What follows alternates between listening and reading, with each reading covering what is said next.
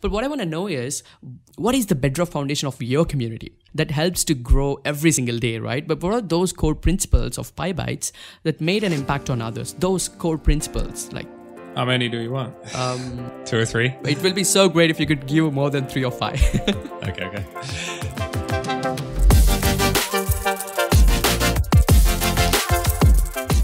Welcome back to the Exploiting Podcast. My name is Teja, and more than anything, I just want to say a huge thank you for every single one of you for incredible affection with over 20,000 plus website clicks from 34 plus countries across the world just in two months. Now I know you're coming back every time to learn, to execute, to exploit, and to clone the thought process and to be able to make a huge difference in your work, life, or business.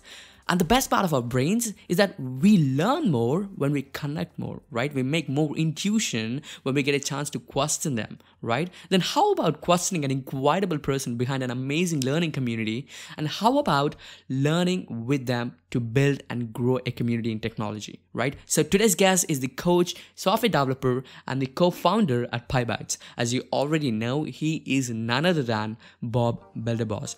Before we move ahead, a huge shout out to Talk Python Training for sponsoring this episode. Exploiting is all about loading up your career in the tech space. Learning a bit of Python will allow you to take your expertise and 10x it with automation, APIs, and even AI. The best place on internet to learn Python is our Talk Python Training.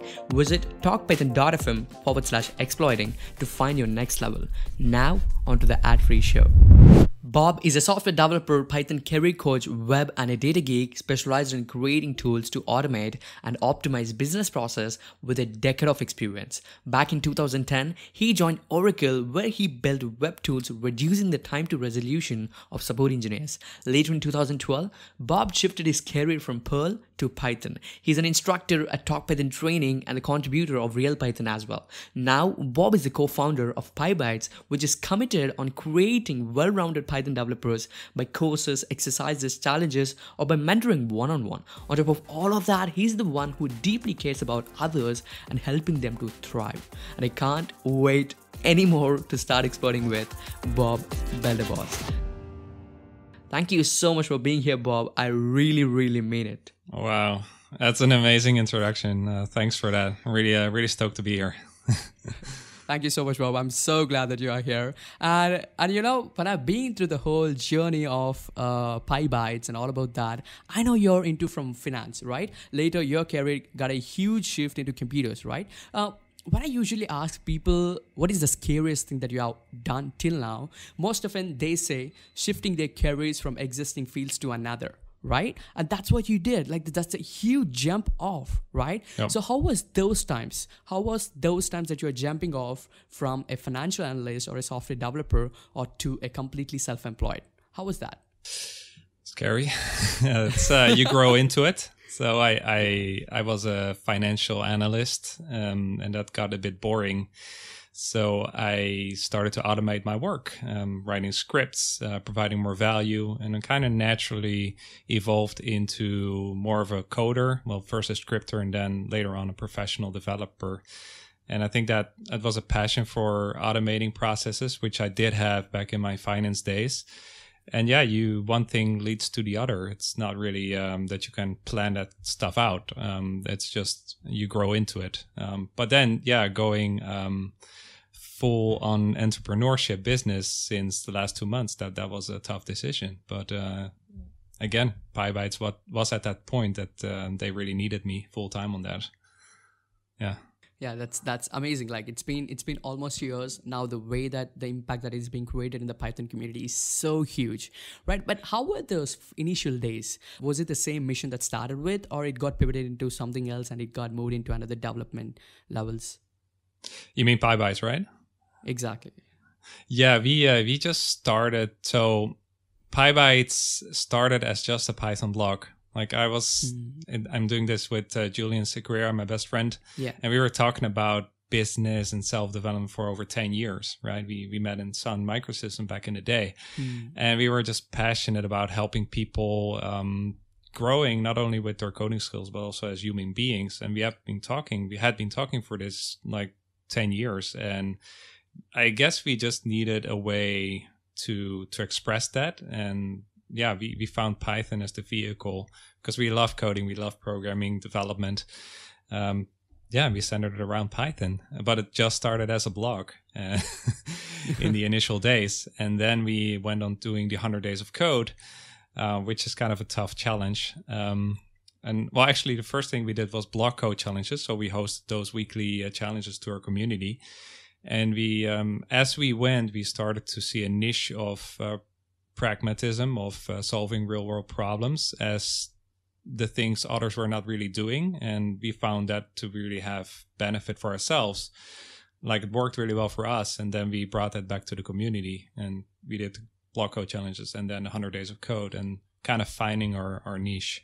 Yeah, but when you mentioned that you got a shift from with your friend Julian, so is that is that where you both are working with Python, or you both are working with different things and got engaged with Python? Yeah, good question because we are we're kind of I was more like the scripting guy at that time, so using Bash and, and Perl and other technologies, PHP. Hmm. And I grew tired of that and I found Python as the holy grail. and Julian was more like a hardware data center guy, so repairing machines, so more on the hardware side. And uh, but he wanted to learn to code, so I came in with a bit more experience, uh, but not that much Python per se and he came on pretty brand new so that was kind of our dynamic from the start that i would be a bit more i mean i didn't know that much python but i had been coding for five or six seven years so i did know software.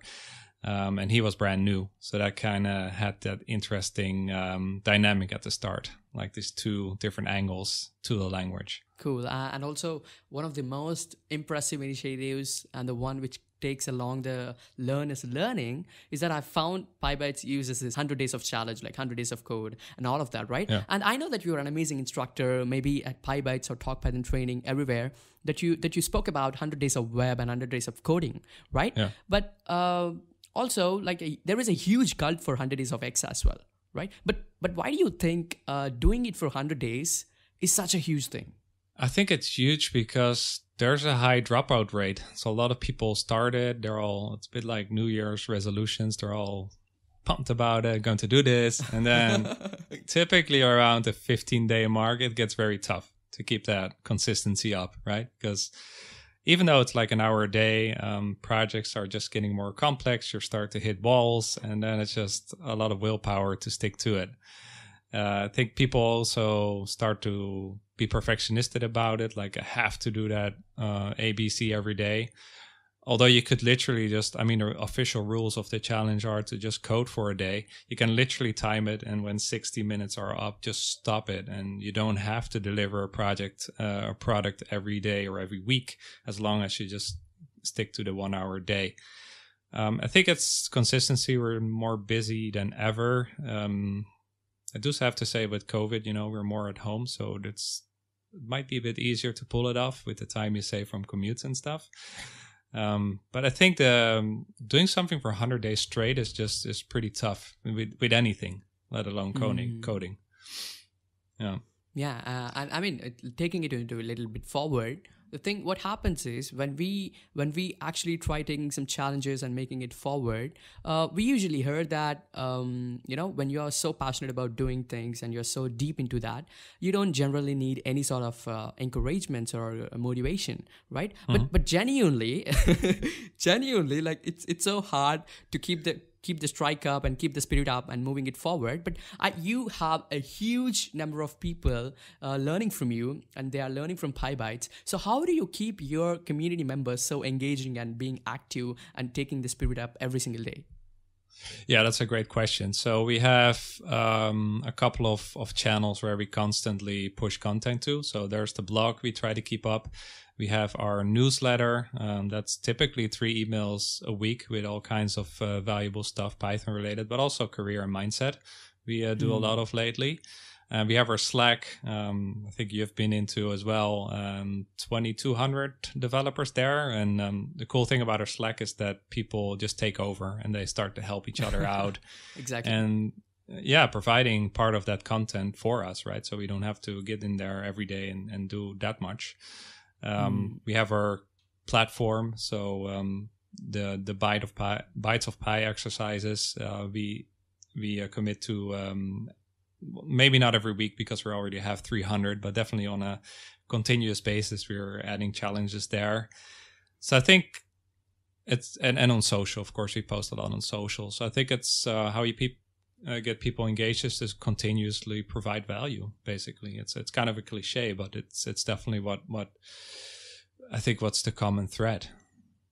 Yeah, uh, and when you mentioned about the Slack, like like lot of lot of learners and also the aspirants of Pythonists and all of them, like they take it over and they, and they help each other Yeah. and they finally make the whole learning right. Yeah, and, and and and let me back up. Like it's not only us pushing content. That that's a great point. Like having other people contribute. So they do guest articles. They Yeah, uh, most of our bytes are actually now produced by by byte authors, as we call them, and they do a great job at it. At it. So if you give people the motivation to to produce with you, I think it, it's very interesting, and you get get a nice dynamic. yeah, yeah, yeah, exactly. And and when you mentioned about that thing, like Slack is full of wisdom, like not only from PyBites team but also with the whole entire community, right? They help each other and they make it forward. But I want to know, like.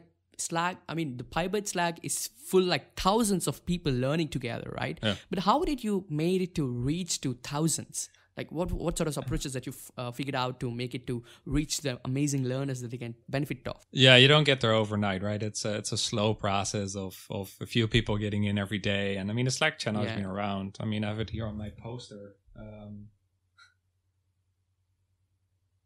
it's, I mean, I guess it's somewhere in 2017 that we uh, that we started the channel, um, or Hmm. 2018. But yeah, it's a couple of years, right? So it's uh, it's definitely a thing that's compounding, and more people are are talking about it and inviting. Um, well, I mean, they, they can just join via a link. So obviously you put it on the blog and you talk about it and people start to talk about how amazing their time is with us there. So word of mouth partially as well. Um, Yeah. Hmm. But yeah, that takes time to grow an audience. that's, that's for sure. Yeah.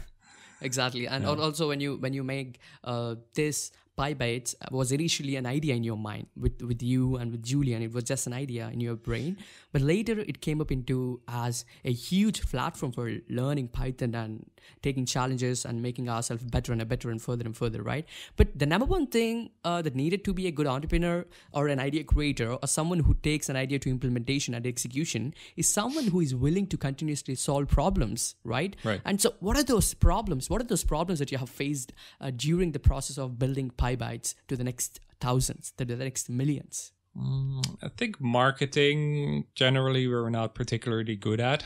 so uh, we definitely had to figure it out how to to get better known and raise that awareness. But again, a lot of that also just goes to to add value. Like if you can provide value to a lot of people, then uh, you don't have to really worry about that because people naturally start to talk about your brand, right? But Yeah. even so, just tactically, we had a lot to learn, and uh, we we definitely paid mentors to to get better. Um, We Mm. started to more engage with our list. Um, well, it's not our list, our friends list. We call it the PyBites friends list. So everybody that's on, uh, left subscribed and left their email with us. Um, a lot more engaging this year. So asking more questions, um, more back and forth, like really wanting to meet the people and know about them. We sent them personalized video messages sometimes. Like Mm. we really put a lot of care in like really talking with our audience, getting to know them, um, know what their problems are and see how we can better help them. Um, I think that was a great lesson for us, and I think that's really what's what's driving the growth recently. And of course, the results. You know, if you get people results, no matter, then that's Yeah. kind of um, people just talk about that, right? And um, Exactly. yeah, so I think that's really important to get them results, and um, yeah, the platform is doing that in our coaching. So, but um, that's of of course also a lot of iteration, right? That's not that's a lot of like the platform has been three years in development, and it's like constantly iterating over, making it better, and say with the coaching, like we we just inventing this as we go, and we we quickly iterate o- over any feedback we, we get or any experience we, we see in a program. So it's like this con, con this hunger to continuously improve, I guess. Yeah. Yeah, yeah, yeah. But but when you say that it, it went over, the marketing was the initial issues, but uh, it got it got figured out. It got figured out by making a good content, by spreading it out with a word of mouth, with the organic approach, right? Yeah. So how about uh, what are the other approaches that you used other than organic to solve it?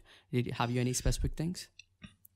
Well, this year we we also do some paid traffic on Facebook, of course. Uh, that was just mm. the hmm. logical next step. Um, but I think like our our friends list has been very important. Like we we've grown that quite rapidly, and um, again back and forth. Um, Slack has been very instrumental as well. Yeah. The, the, easiness how people just interact together and how you can just hit them up with a DM, a, a personal message. Um, again, Bonjoro for the video messaging has been huge for us. Um, mm. Yeah, so multiple channels, right? Um, and the platform as well. Platform, we have the whole messaging system there.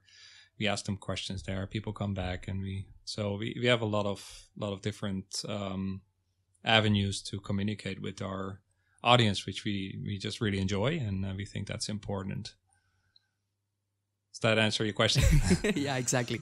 That should. And also, it, it not only answers my question, but it, it will definitely help a lot of others who really want to, you know, build a community with technology, like how uh, PyBites is so specific with Python right so that's that's amazing like the software development and that's how people i mean there are a lot of lot of people who wanted to have a community with complete technology. All of a sudden maybe sometime else uh, they may get fail mm-hmm. right? So that's how i mean this your your answers and your, our conversation i hope that will definitely help them. Uh, and also looking into another perspective from learners i mean the community people right? You have been understanding and helping technology aspirants to adapt new skills from years right? So what would be your words of advice that you would give to our our listeners who want to learn something new. Like how to learn anything new, like how to do exactly. it. Exactly. yeah, what what we really found, especially with coding and Python, is that you have to fully emerge, right? And like to to learn how to code is is to write code. I mean, um, mm. a common problem we see in in our industry is tutorial paralysis or purgatory. They, they call it all kinds of things, but basically it means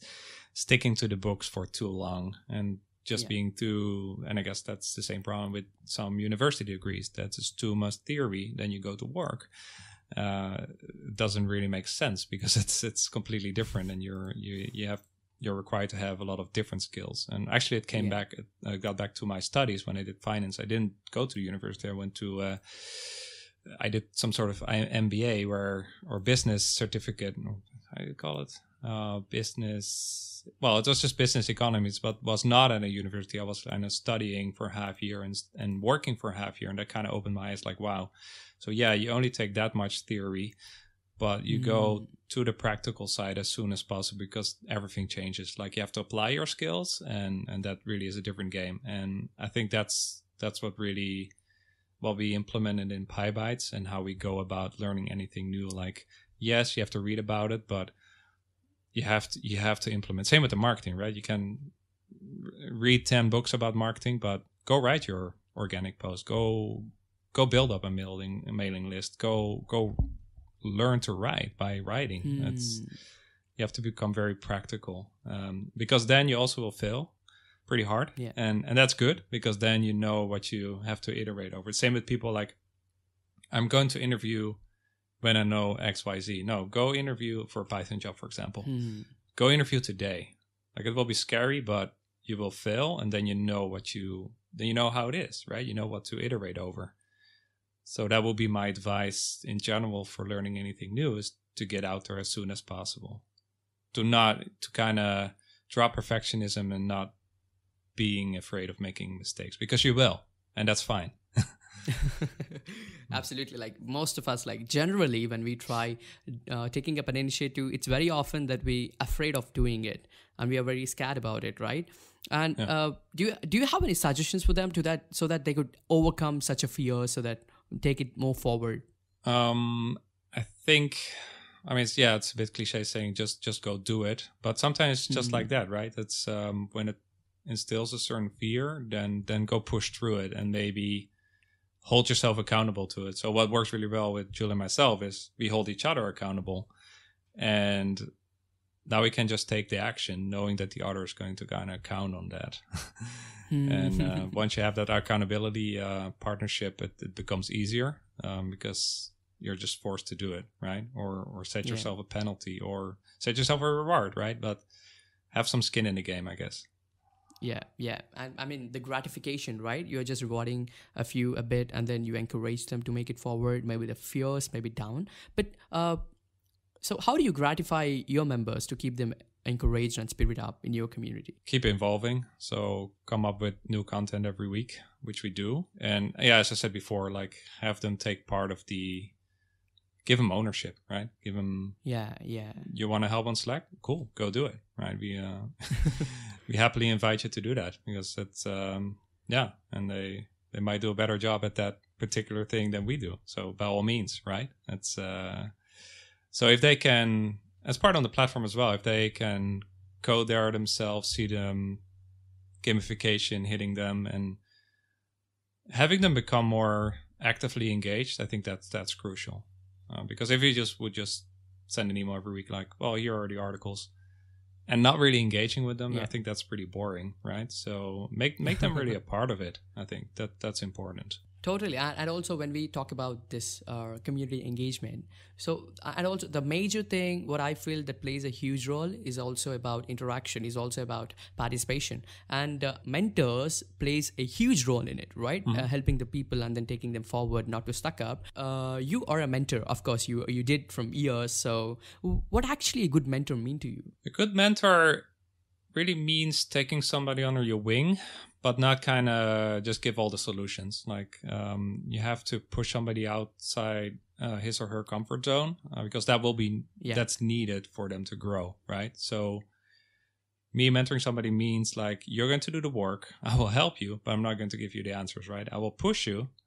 And I will give you maybe hints or so, but you will have to figure it out, and I will help you, right? Yeah, something and that's not for everybody right that's uh kind of take some a mindset um so that that's one thing. Um the other thing yeah it's it's setting an example right? If um if you um ask them to code and stuff obviously you're doing that yourself as well. So you're you're kind of leading by giving a good example.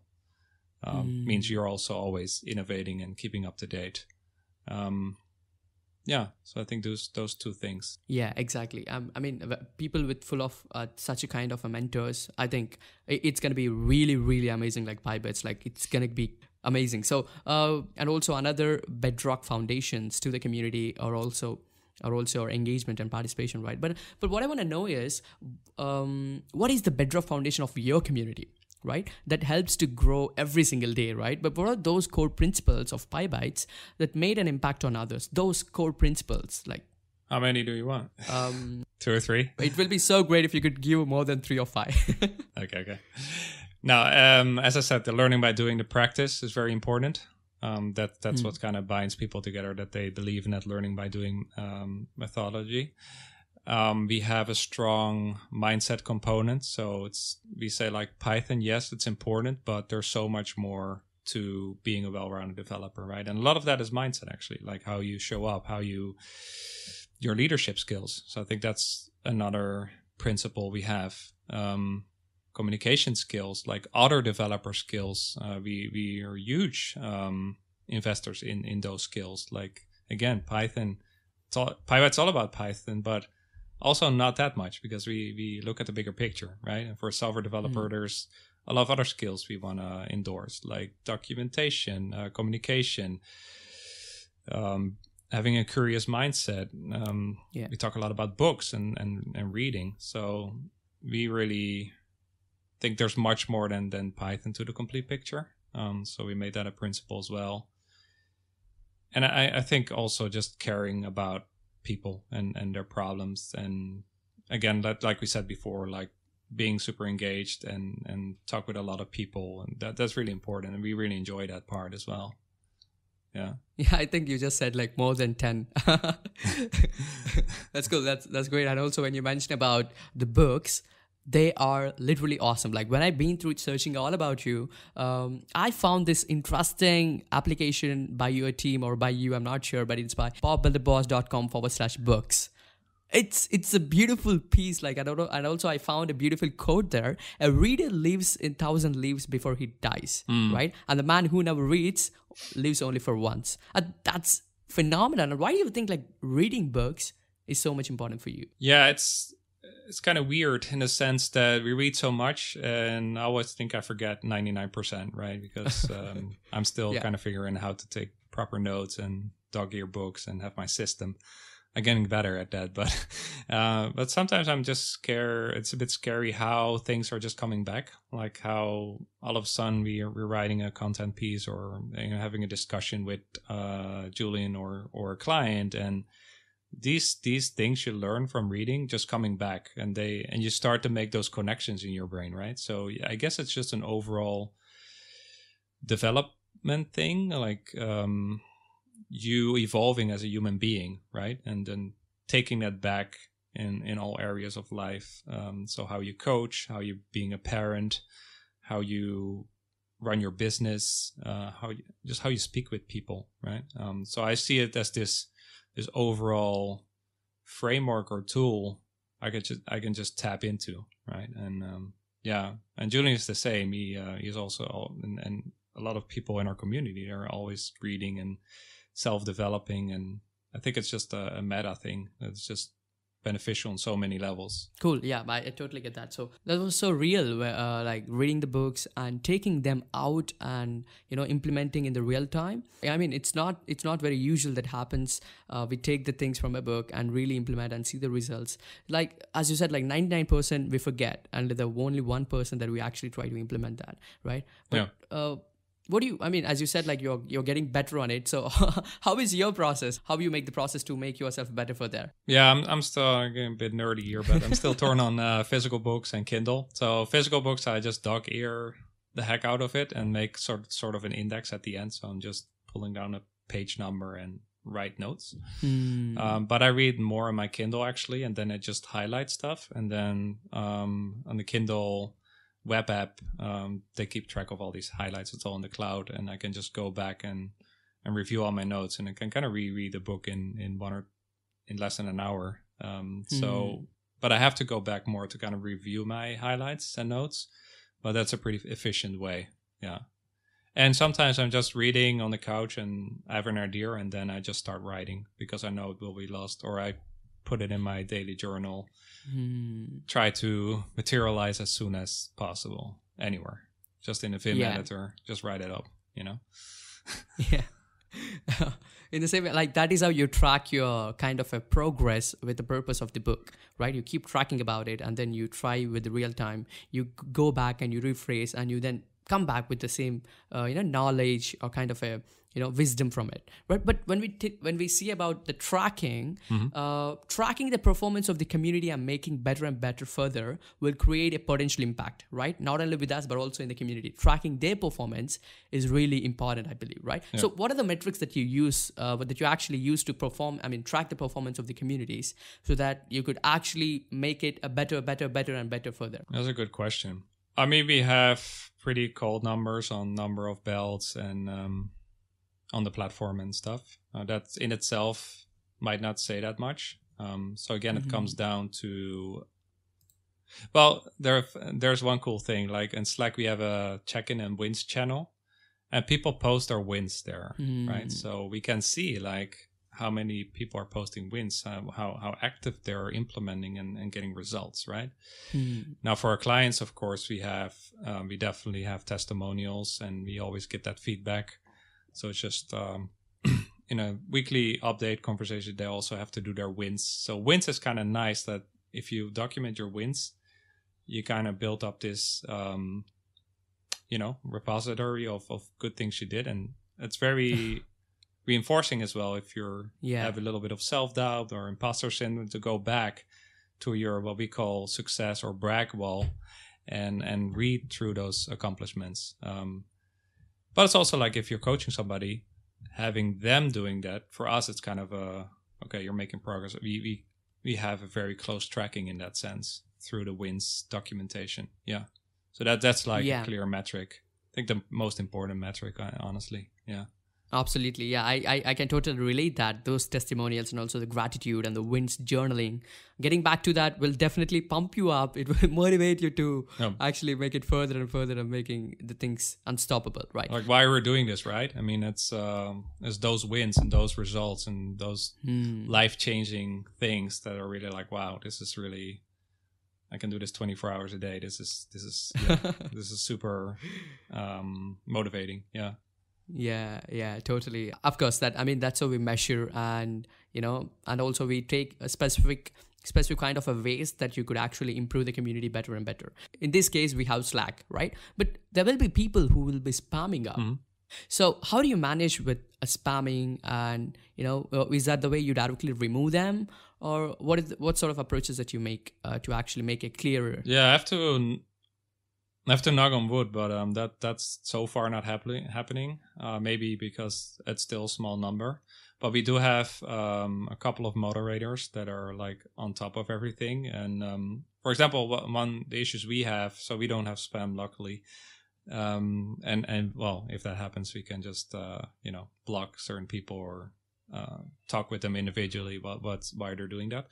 Um, so an issue we have though is like uh, we have those code challenges, so the bytes, the Bites of Py exercises, and people are in their fully right to ask questions on our code challenges channel in Slack, but they have to kind of respect uh, our our IP and and other people taking that byte by not spoiling it. So they they can ask questions, but don't put the whole solution in there.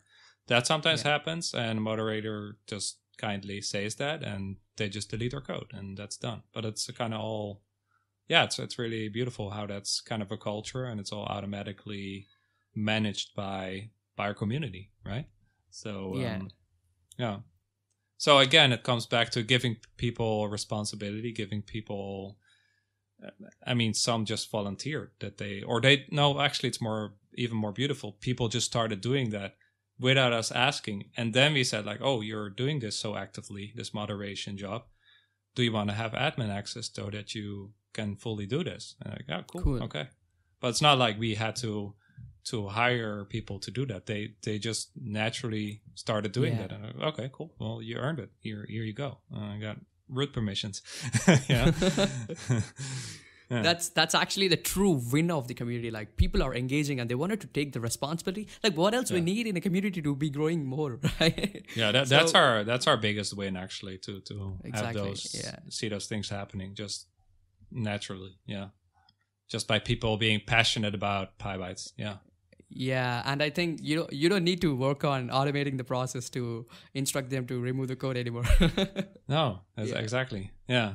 yeah, perfect. So how about this? Like, um, you know, monetizing the things is actually the way we find freedom in our work, right? When we get some revenue generating in the ways, so that we could try different ways. We could try, uh, you know, get uh, introducing few other things coming up and get more engaging and get more audience and get more learnings, right? But uh, getting that revenue is such a crucial part in the initial days Yeah. right? So how was your revenue models with PyBites or uh, or any other initiatives that you have taken? Like what sort of revenue models that you try and implement and experiment? You go for finalizing the things. Yeah, so we started early on. Our first product was the platform subscription. Uh, then later we had the 100 days courses um, with Talk Python. Um, then later on, we added coaching. So we're kind of building out uh, the whole, you know, portfolio. Um, working on a couple of books.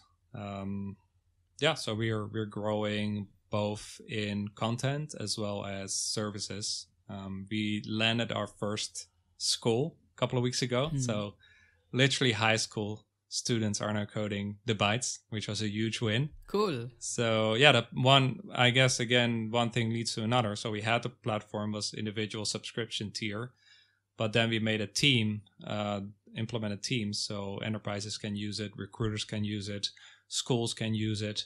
So it's now this whole um, portfolio of products actually. Yeah, yeah, Yeah. So Yeah, one, one, interesting thing that I just got to know is that kids, like programming for kids, specifically for schools, they learn. yeah, we're it's we're passionate about that. Yeah. exactly like I mean, it's very rare that we, that we see people are getting into the coding. But so I want to know, like, what sort of approaches that you use to teach them, like the kids? How do you teach them? Like, how do you teach uh, programming, like uh, maybe a loop or an if statements or anything, just basic things? Like, how, how do you teach them? We we don't teach them.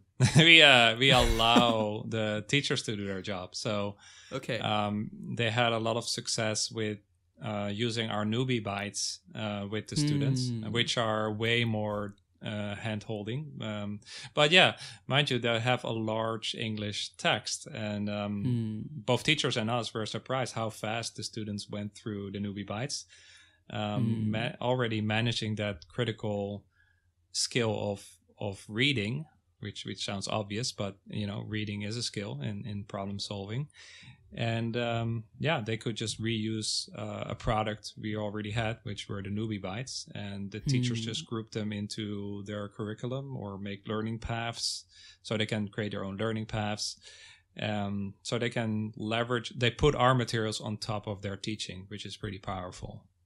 Hmm. Yep. But possibly, like, if we wanted to expand the existing things, we need to be having a brainstorming things coming up. But this brainstorming thing comes up when we try, you know, connecting with others, maintaining relationships with the kind of a bloggers or uh, a platform developers or any others, right? Yeah. So how how about your relationship with Python community people across the world? Yeah, this year was a bit of a bummer. We didn't have PyCon, so there was some Yeah. face to face missing, which which made it a bit more challenging. And uh, but we have definitely a lot of uh, Python community people in our Slack as well um, that are Yeah. also active in other communities. So yeah, we have those contacts. Um, we, um, for example, we also did a little entrepreneurial chat on PyCon Africa. So virtual, you can still do a lot of stuff.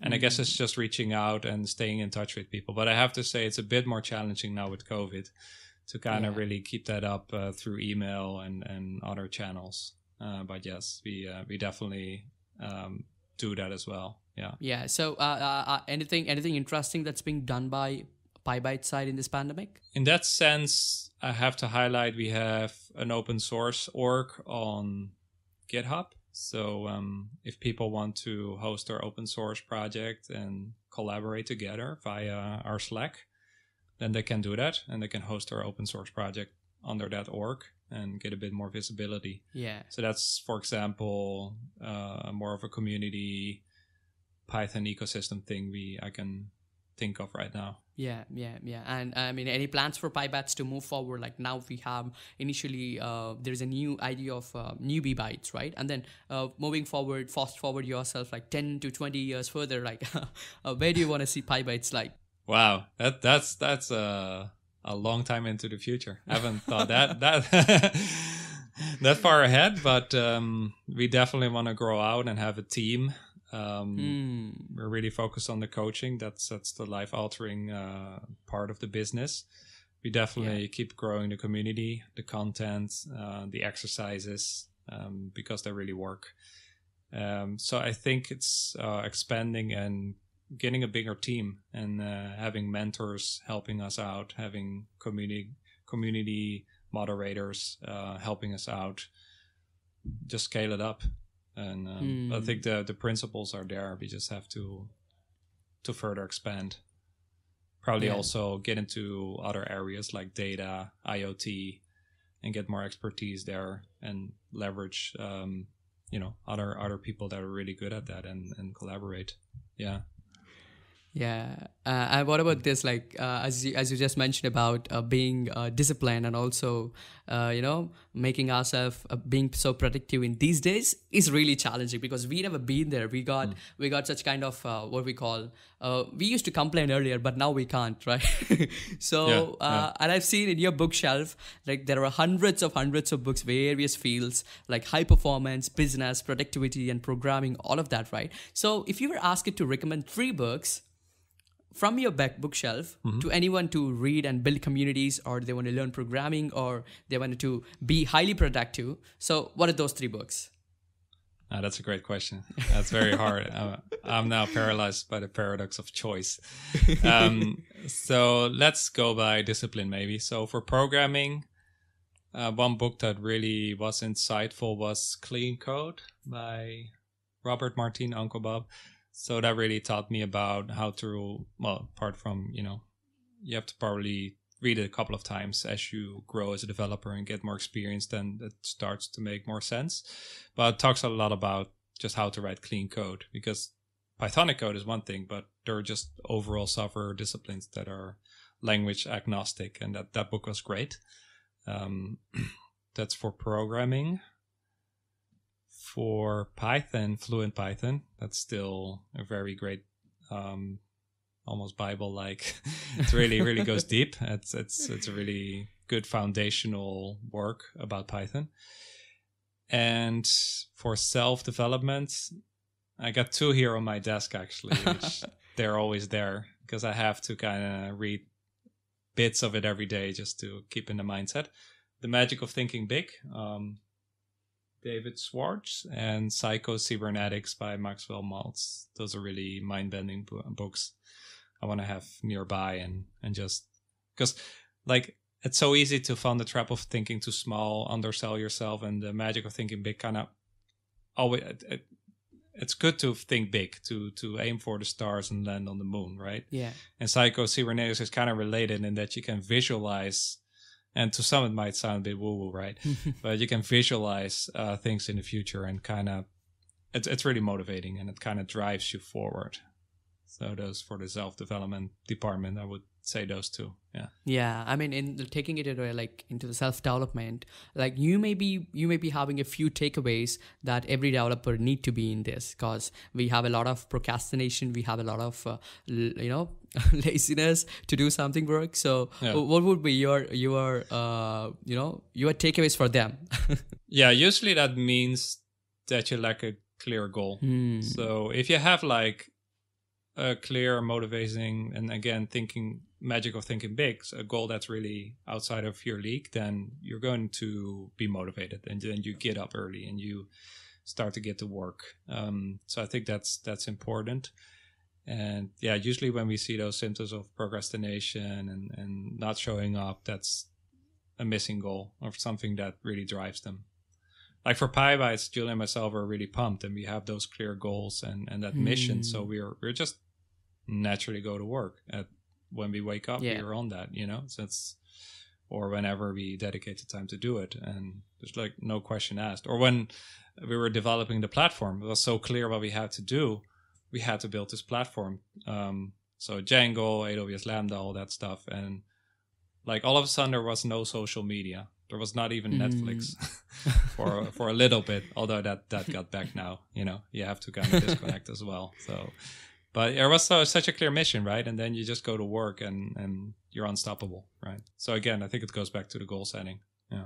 Absolutely. Like when you mentioned about this one, uh, building up when you got an idea of PyBites and you guys are working on it so deep. Uh, what is PyBites is built with? Like what are the tech stack behind and uh, the what we see and what we don't?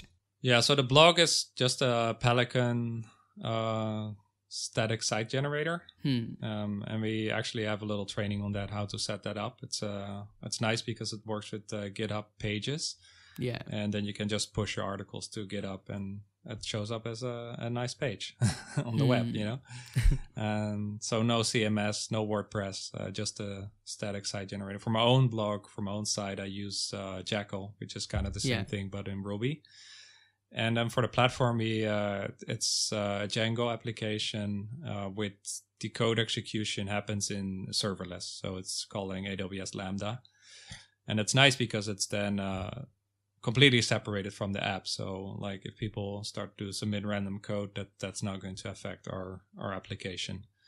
And it's using all these typical cloud tools like uh, SendGrid. Um, hmm. We have it hosted on Heroku, so we use it scheduler it's a Postgres database.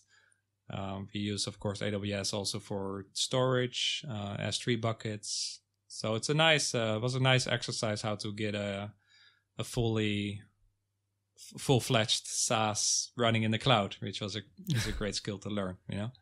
Yeah, uh, and how about the uh, codechalleng.es? How how how would that? that that's the platform. Yeah, that that's the hmm. that's the Django thing. Yeah. Cool. Okay.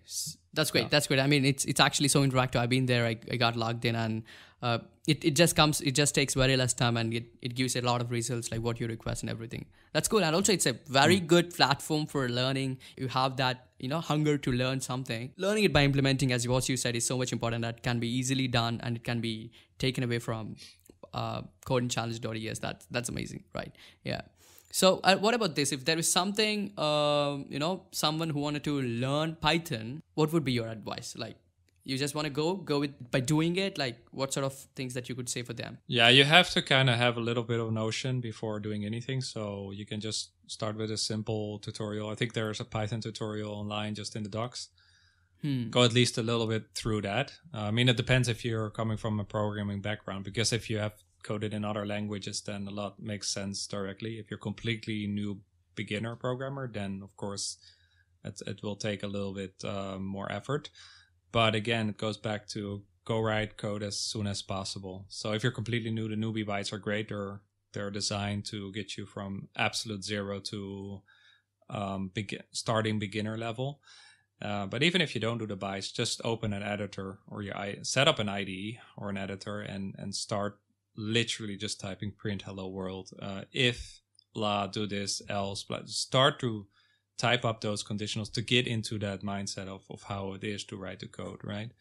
Uh, yeah. Uh, obviously, you have to read in parallel, but I would always do like coding and reading like in parallel, not not go read books and books and books. Some people do, right? And yeah, then you're not going to get anywhere. yeah. yeah. I, understand. Like that should definitely help the others. Yeah. So possibly now we are almost on the end of the conversation. We've been talking for almost like more than half an hour, and it's like 50 minutes or there. So I want to know. Uh, we have. Uh, AMA form released, and you got a few crazy questions here. So, oh yeah, yeah, yeah. Okay. Uh, David, this from David. Hi Bob, huge fan of PyBites. With Hacktoberfest coming up, I would love to be able to help PyBites and at the same time meet some of all of the Hacktoberfest pull request requirements. So any chance I'll be able to do that? Yes, if it's like previous years, then you can just um, open four pull requests and then you get your t-shirt or whatever they, they give away. and uh, those pull requests, I think um, you can use them against any repo. So you can contribute to our open source projects. You can take our blog code challenges, which are, are linked on our blog. Um, like if you submit your code for a challenge, then uh, that should count as well. I think you have to merge it in. Hmm. I'm not sure if I have to merge it in for it to count, but we're definitely going to be mindful of that. So when Hacktoberfest hits, we make it a priority to get that merged in on time, so that that it counts for you. So yeah, that's a great way to uh, to get engaged with our stuff, to uh, contribute to open source, and um, and get your reward, whatever it is. I think it's still a T-shirt, so uh, definitely get four four pull requests in. And uh, again, it can be you working on code challenges just for exercise purpose, or go contribute to one of our repos. Um, we have people now contributing to our Karma bot app, which is the thing that gives karma in Slack, hmm. and they just open issues uh, with like I want to prove this and the open pull request, and they're just collectively making it better, which is really cool. Yeah. Cool. I think that should that should definitely help David. That's cool. Thanks, David. Shout out to David. what is the airspeed velocity of an unladen swallow? I wow. don't know. Who, who, who's asking that? No, no name. Okay. Um, so I, I think I saw the question. I think it was from Patrick. So I'm going to answer him. Uh, what do you mean? Is it an African or an European European uh, swallow, Patrick? I will leave it at that. It's a little oh, inside joke. Okay, for people out there just like me, what was that? We didn't get the question now. yeah, it's it's something from uh, Monty Python, uh, and that that kind of was an inspiration mm. of for Guido to call Python the Python programming language. Um, yeah. So he, he, based it on that that series, and uh, this is from that. Shout out to yeah. Patrick. yeah, Patrick. Yeah, I found that. It's it's in the Slack as well. Yeah, perfect. And uh, now you have another question from your from another co-founder of PyBites, Julian here. oh, hit me with it. So, hey Bob, you have been you have been working from home for quite a while now. You have a family that's around you almost 25 by 7. You're building a business, mentoring, coaching people in Python, and on top of all of that, you're staying fit. So, mm. at a time where many people are finding it tough to balance just two of those things, right? Can you just share some insights as to how you manage to do everything that you do and maintain your sanity. Thanks, Julian. awesome question, uh, Julian. So um, I think it comes back to uh, there's a time for everything, and you have to kind of see what's working best for you. Like the other day, client said, like, well. I work out in the afternoon because it's um, it's improving my sleep. Like, wow, that's interesting. Like if I do that, I might be awake till two a.m. Right? So uh, I do my workout as soon as the gym opens. Luckily, I could go back to the gym again.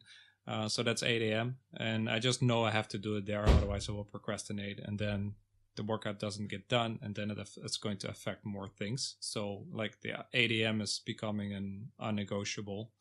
Same with like the morning routine, um, doing some steps in the morning or some journaling or reading, just having that done first, or, or uh, like my affirmations and stuff has to go in the morning. Like that kind of go out of sequence, right? Then deep work, always best in the morning. Like so typically after the gym, I go to produce content because the afternoon will just be crazy and interrupted yeah. and, and slacks and whatnot, you know? And then the morning you have just like like just by nature you you well and again it depends a little bit of what kind of person you are. But for me and I think for a lot of people, willpower bucket is just stronger in the morning. And then as you go through the day, more you get more uh, you hit more fatigue and then it's just harder to keep that discipline right so produce pro- content production best in the morning. And then the afternoon you kind of you won the day and you can you still have to do your meetings and all that stuff but uh, you kind of yeah then then it was a good day right? Yeah. Um, so how to balance yeah and the other thing like we uh julian can resonate with that we were not really pushing that hard during the weekends because we push very hard during the week. So the weekends kind of we we take off. And that's working pretty well in the sense that we're not burning ourselves out. so yeah, balance and one word balance, and kind of see what's what's working best for you in your mm. schedule. Yeah. So what's your morning routine then? I'll get up. Um, I it depends a little bit because I want to sleep my eight hours, kind of unnegotiable. So um, yeah. if if I go to bed late and it's close to eight, I have to do the gym first if I can get about seven, then it's affirmation reading and uh, steps, some motivation and learning. Again, going back to deep work, like that's very hard to do later in the day because the afternoon is a lot of meetings and then the typical 6 p.m., 7 p.m., then the family takes over. So it's, it's hard to do anything study or deep work wise then. So I, I start with that early on. Yeah. Yeah. so that's come to an end. Uh, before we wind this up, what do you like to share to our listeners? So is that something that you want to share? Please feel free to. Yeah, I would I would be happy to salute you in our Slack. I mean, even if you're not a Python developer or programmer overall, I think you can still get a lot out of our Slack because we have a books channel and we have a lot of career mindset stuff going on there. So by all means, yeah. join there and uh, you can just ping Julian myself. Whereas hopefully uh, you got out of this conversation we're pretty uh, social so you can just hit us up and uh, send us a message yeah or same on twitter twitter twitter.com uh, slash pybites you can just ping us there and um, yeah reach out to us but if you are a coder then i challenge you to uh, to hit your yellow belt on the platform or something something there yeah to go write code basically there's some cool badges as well yeah yeah, yeah. Yellow is doable. It's 50, it's 50 points. That's about 15 exercises or so, so. 15 not 50 yeah. super so once yeah but but i guess once they get that yellow belt they won't they won't leave it there. They'll take it forward for more points more belts. Yeah that's a great disclaimer or warning. Yeah that's, that's pretty addictive, addictive. Yeah so yeah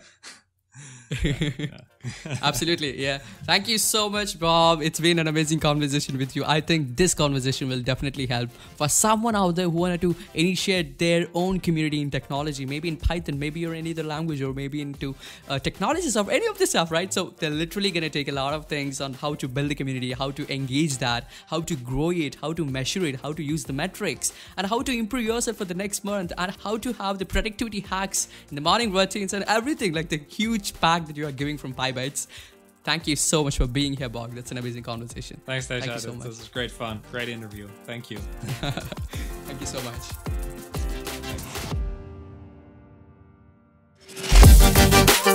much.